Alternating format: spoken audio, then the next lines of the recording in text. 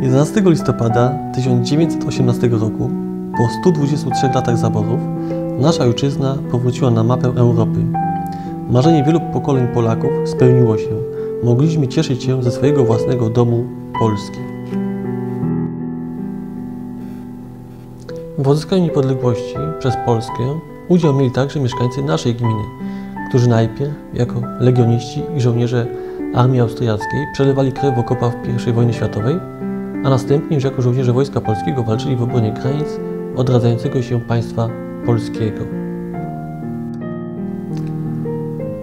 Warto z tej okazji przedstawić sylwetki kilku wyróżniających się żołnierzy pochodzących z naszej gminy.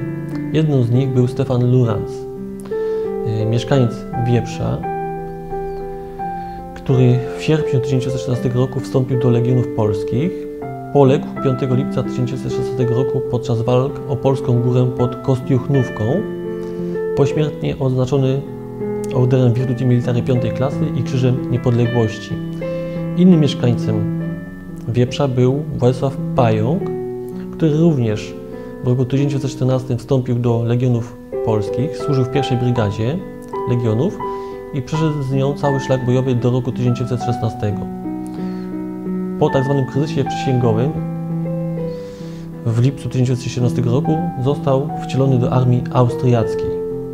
W 1918 roku po powrocie do kraju wziął udział w rozbrojeniu posterunku żandarmerii austriackiej w Andrychowie. Kolejną postacią, o której warto wspomnieć, to Stanisław Buchała, mieszkaniec Gierautowic, na podstawie zeszytu ewidencyjnego kadry zawodowej podoficerskiej możemy prześledzić przebieg służby wojskowej Stanisława, Stanisława Buchały w latach 1919-1921.